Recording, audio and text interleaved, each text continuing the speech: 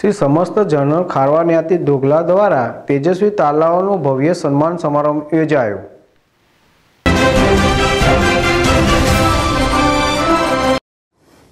દીવના ગોગલા ખાતે દર વર્ષની જેમ આ વર્ષે પણ શ્રી સમસ્ત જનરલ ખારવા જ્ઞાતિ ગોગલા દ્વારા પંચાયત ચોકના પ્રાંગણમાં તેજસ્વી તાલાઓનું સન્માન સમારોહનું આયોજન કરવામાં આવ્યું હતું, જેમાં અધ્યક્ષ સ્થાને દીવ જિલ્લા કલેક્ટર શ્રીમતી સલોની રાય ખાસ ઉપસ્થિત રહ્યા હતા. સાથે અતિથિ વિશેષ તરીકે નગરપાલિકા પ્રમુખ હિતેશ સોલંકી, કાઉન્સિલર કમ બાંધકામ chairman Hamesh Haresh Pocha, Kapadia director of education Dilawar Mansuri, Kharwa સમાજના પટેલ રમેશભાઈ દેવજી, સોલંકી ખારવા સમાજના માજી પટેલ રમેશભાઈ અખેડી, દીવશ્રી સમસ્ત ખારવા સમાજના પટેલ મગન ગોકર, સોલંકી માજી પટેલો, કાઉન્સિલરો, આગેવાનો, સમાજના લોકો તેમજ વિદ્યાર્થીગણ ખાસ ઉપસ્થિત રહ્યા.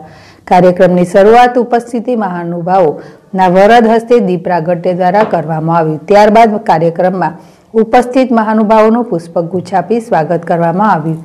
કાર્યક્રમમાં ગોગલા બાલભવનથી બાળકીઓ દ્વારા સ્વાગત નૃત્ય અને લોકનૃત્ય રજૂ કરવામાં આવ્યા હતા. કાર્યક્રમ દરમિયાન ઉપસ્થિત મહાનુભાવોના વરદ હસ્તે સમાજના તેજસ્વી તાલ્લાઓને ઇનામ અને સર્ટિફિકેટ આપી સન્માનિત કરવામાં આવ્યા હતા. તેમજ પ્રોત્સાહિત કરવામાં આવ્યા. કાર્યક્રમમાં અધ્યક્ષ સ્થાને ઉપસ્થિત જિલ્લા કલેક્ટર સલોની રાયે જણાવ્યું હતું કે ખારવા સમાજમાં સન્માન સમારોહથી સમાજના વિદ્યાર્થીઓને પ્રોત્સાહન મળે છે. દીવ ખારવા સમાજની પાંચ વર્ષની બાળકી ઊંડા સમુદ્રમાં તરીને આવીને તે સમાજ અને સંપૂર્ણ દીવ માટે ખૂબ ગૌરવની વાત છે. તેઓ પોતે ત્યાં હાજર રહી નાની બારા રિયાને વધાવી લીધી હતી. વધુમાં તેમણે જણાવ્યું કે આ સન્માન સમારોહમાં વધારે દીકરીઓએ ઇનામ મેળવ્યું છે. તે બેટી બચાવો, બેટી પઢાઓને પુરવાર પાડે છે. આ પ્રસંગે Diu director of education Dilawar મંસૂરીએ પણ ઉપસ્થિત વાલ્યો અને વિદ્યાર્થીઓને ભણવામાં વધુ ધ્યાન આપવા જણાવ્યું અને એજ્યુકેશન દ્વારા વિદ્યાર્થીઓને સ્કૂલ બેગ, યુનિફોર્મ વગેરે આપવામાં આવ્યા છે. તે વિશે માહિતી આપી અને દીવનું વધુ બહેતર પરિણામ આવે તે માટે દરેક પરીક્ષા દરમિયાન ધ્યાન આપવું તેવું જણાવ્યું. આ સાથે દીવ નગરપાલિકા પ્રમુખ હિતેશ સોલંકી અને પોતાના પ્રવચનમાં જણાવ્યું હતું કે આજે સન્માન કરવામાં આવ્યું તેને આપણા સમાજ અને દીવનું નામ રોશન કર્યું છે. આ સન્માન માટે પરિશ્રમ જરૂરી છે, તેમને ભાગવદ્ ગીતાનું ઉદાહરણ આપતા જણાવ્યું હતું કે કૃષ્ણ ભગવાને પણ શ્રમ કરવા જણાવ્યું હતું.